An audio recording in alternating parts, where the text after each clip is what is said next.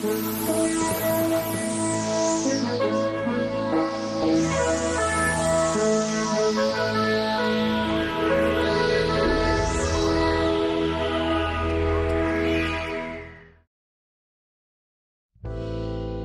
išėjo į amžinos medžioklės plotus. Iškeliavo taip staiga, kad nesitikė, jog gintarė niekada nebestovės šalia mūsų medžioklėse. Niekada nebekursime tauro rago laidos kartu. Prisiminkime gražiausias gintarės medžioklės akimirkas.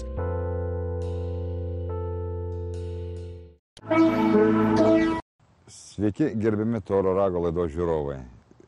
Šios laidos tema liūdna. Ši laida skirta gintariai, tragiškai žuvusiai, e, puikiai medžiotojai, puikiai mokslininkiai, padėka jos tevam bei artimiesiems. E, Taip pat tikiu, kad daugelis medžiotojų liūdė, netekę tokios šaunios merginos, medžiotojos, kurie daug projektų įvykdė, daug projektų buvo dar pas ją galvoje, kuo negali pasigirti kiti brandaus amžiaus medžiotojai bei žmonės. Tad ši laida dar kartą miniu, skirta būtent gintarės atminimui. どうも。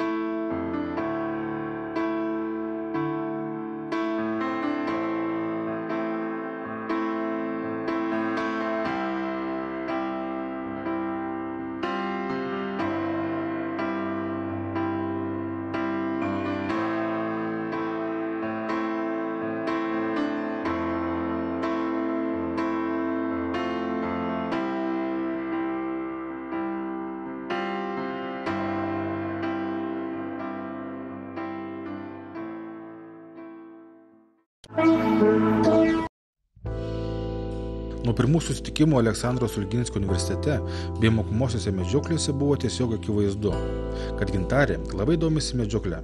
Jai buvo įdomu viskas, kas siejosi su šia veikla. Ji buvo pilna entuzijazmo ir aktyviai dalyvavo medžioklėse, seminaruose, projektuose.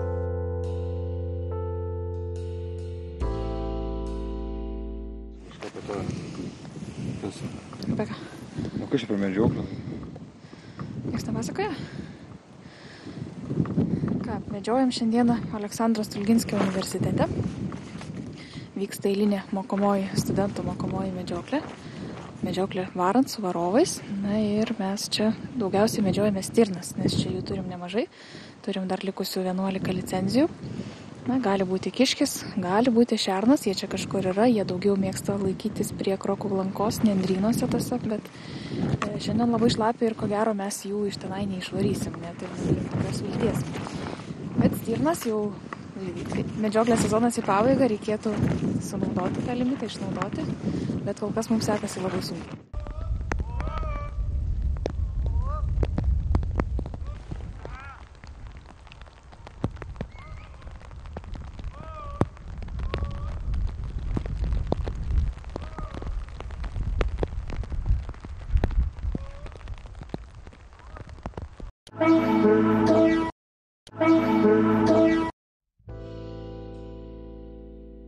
Gintarė Narauskaitė Sabalinkienė gimė 1985 metais, žydint sodams. Kaip ir sodų žydėjimas, jos gyvenimas buvo nepaprastai gražus, spalvingas, turiningas, dėja. Sodai žydė labai trumpai. 2004 metais Gintarė baigė Aleksandros Ulginskio universiteto miškininkystės bakalauro, o 2008 metais magistro studijas. 2010 metais įstojo miškotyros doktorantūrą. Jos disertacijos tema - Europinės stirnos morfologinių ir genetinių požymių įvairovė Lietuvos miško gamtiniuose regionuose. Ragai, nėra paskutinio krūminio dančio. Tai yra tik tai va tie šitie šoniniai penki dantys, o ne šeši kaip turėtų būti.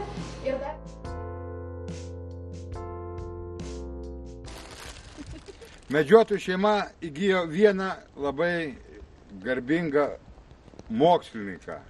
Ir e, kaip, taip, taip, Mokslininkė. mokslininkė, nu tai palaukit, nepertraukinėkit dėstytojų, Tai lietuvių kalbos profesorių, gerai. E, vienu žodžiu, Lietuvos istorijai tai e, tikrai medžioklės specialistė, e, tarp kitko, medžiotojų moterų tampa vis daugiau ir daugiau. Gintarė, e, tau nuo mūsų visos tauro rago Rodyk, kas tai yra. ir kad tau šiandien sektųs geriausiai.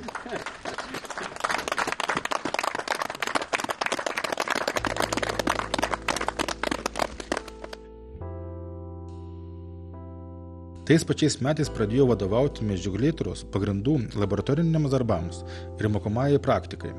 Dalyvavo mokslinėse konferencijose ir ruošiant medžioklėtvarkos projektus. Gintarė Sabalinkienė buvo aktyvi mokslininkė, paskelbė 14 mokslinių bei 25 mokslo populiarinimo straipsnius. Dalyvavo daugiau nei 10 mokslinių konferencijų. Bakalauro studijų metais Gintarė aktyviai įsijungė į Miškų ir ekologijos fakulteto miškininkystės katedros medžioklėtvarkininkų grupę. Medžioju jau apie kokių dešimt metų. Tai iš pradžių buvo tas toksai karštas naujo medžiotojo kraujas, kur atrodo pamatė ir, ir gali pabėgti kaip ta panelė. Bet praeina kažkiek laiko, sumedžioji tų stirninų jau tam tikrą skaičių ir supranti, kad tau jau nereikia bet kokio, kažkokio ten tiesiog selekcinio. Jau pradedi tada galvoti apie kažkokį tikrai įdomų, gražų, labai selekcinį žvėrį arba, labai, arba trofėjinį žvėrį gražų. Na, bet čia turbūt reikia peraukti, subręsti tam, tam vat, laikotarpiui. Tai vėlgi iš tikrųjų linkiu taip pat neskubėti pirmo iš eilės pamatyti, o nemedžioti, o pasieškoti, tikrai įdėti tam laiko, pasieškoti tikrai tokio žvėries, kurį, kurį verta bus, kurią, kurį paskui bus gražu kitiem parodyti, įdomu pačiam prisiminti, gerą prisiminimą. Čia ne panelė, nepabėgs.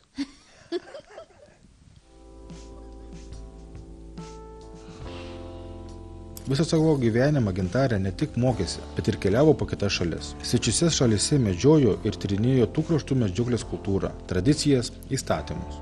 Galvojau, kad čia viskas bus taip paprasčiau, bet iš tikrųjų tai nervų ir adrenalino labai daug. Ir labai daug emocijų. Žvėris galingas, baisu. Sistemindama visas patirtis, atmesdama kas neprimtina ir įvertindama tai, kas sektina, gintarė kūrė Lietuvos medžioklės ateities viziją. Aplinkinėse valstybėse ir apskritai Europos valstybėse moterys medžiotojos, jų ten yra daugiau, yra susibūrusios į tam tikrus kolektyvus ir truputėlį labiau reiškiasi, dalyvauja tarptautiniuose renginiuose, Europos renginiuose ir taip toliau. Pas mus Lietuvoje nevyksta niekas. Diskutuojant apie esamą situaciją Lietuvos medžioklės fronte, gintarė užduodavo klausimą tiek savo, tiek kitiems. Kas kaltas dėl to, kad mūsų šalies medžiotojai įsibarsti padraugijas, klubus, sąjungas?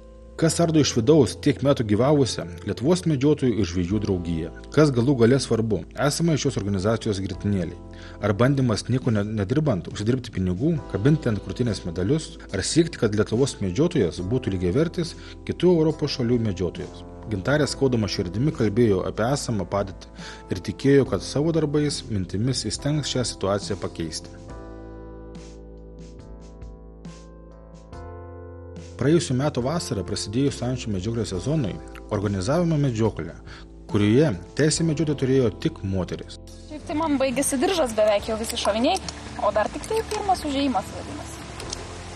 Reikės į parduotuvę turbūt prasukti.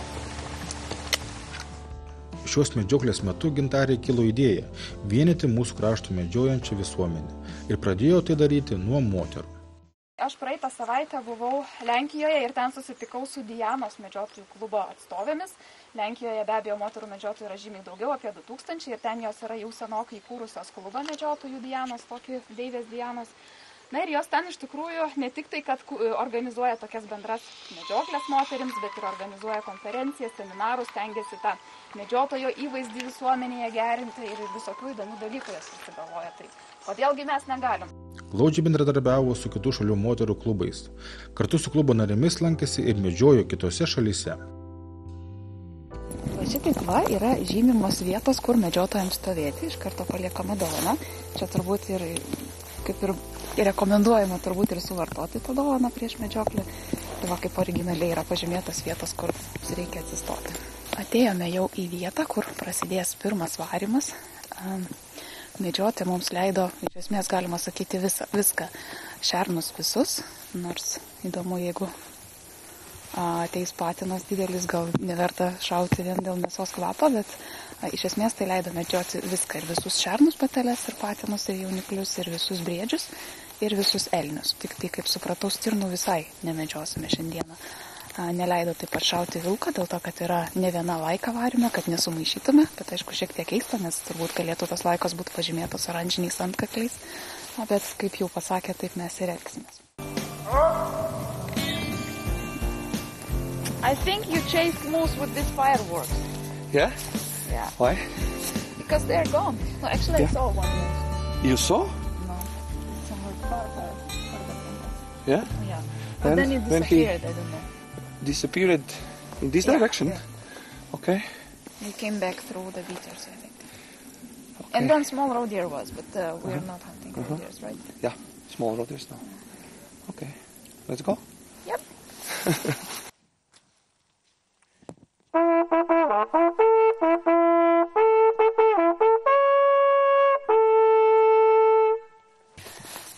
Prasideda antras varimas. Pirmam varime nebuvo nei vieno šūvio, tai tikimės, kad šitas bus šiek tiek sėkmingesnis.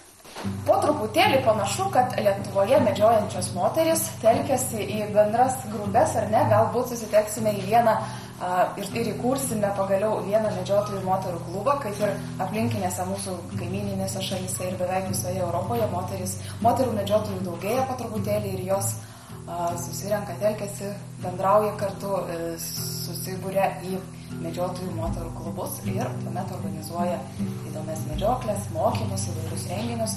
Tai aš manau, kad atėjo metas ir mums Lietuvoje susiburti, jo labiau, kad e, atsiranda šitiek daug e, moterų, kurios intensyviai dalyvauja, bendrauja taip pat su kitų šalių moterimis medžiotojomis.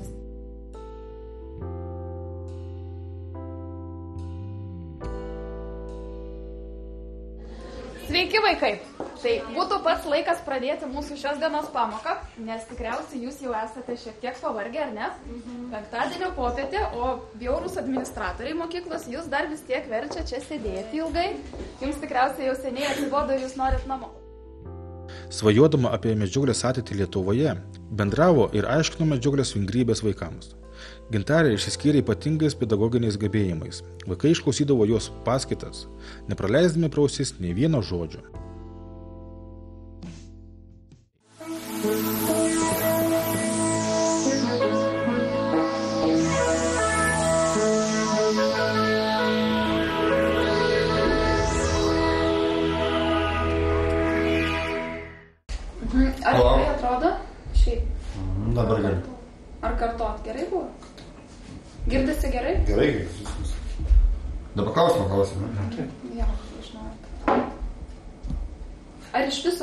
Medžioklė Lietuvoje yra populiari? Nėra populiari. Jei pažiūrėsime statistiką, Lietuvoje kasmet sumedžiojama 11-13 tūkstančių ančių. Tai to lyg daug ar daug. Visose medžioklės temos veiklose gintarė buvo labai aktyvi. Žiūrovai džiugino gyvenantais projektais televizijoje, bendradarbiavo su mūsų laida. Talkino organizuojant parodas, vedė Elnių kvieslių varžytuves.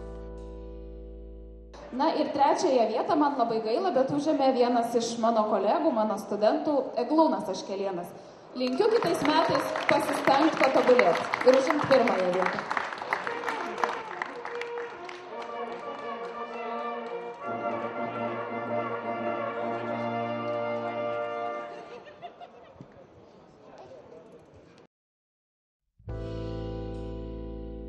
Visa Lietuvos medžiotojų visuomenė patyrė skaudžią netikti, nes gintarė buvo tas žmogus, kuriame matėme mūsų šalies ateities medžiotoją.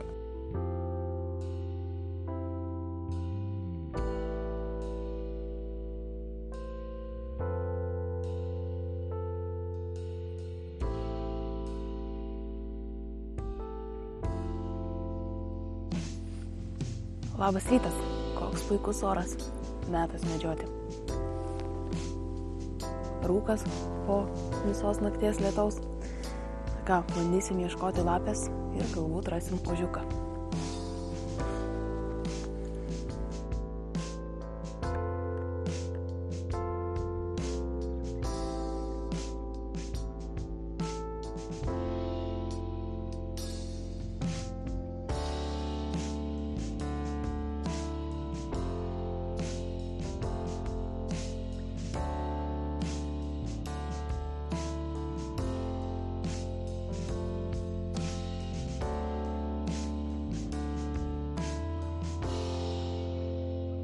Na ką, einame susirinkti ginklų ir vykstame į medžioklę.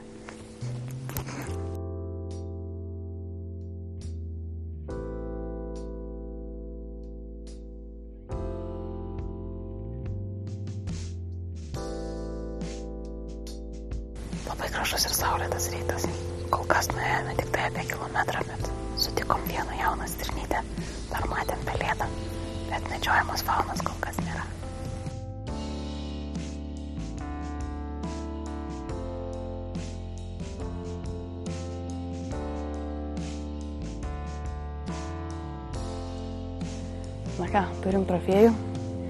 Dabar laukia pats rimčiausias ir didžiausias darbas parsinešti į kokius 3-4 km iki mašinos. Moteriai medžiojančiai vyras gyvenime reikalingas tik tai vienu atveju, kai reikia padėti parsivilkti sumedžiotą žvėrį. Šiuo atveju ačiū Dievui, kad bent turiu šalia operatorių. Tikiuosi, kad padėtų. Su jie siejome viltis ir tikėjome, kad jie suvienys Lietuvos medžiotojus, gal net vadovaus medžiotojų bendruomeniai.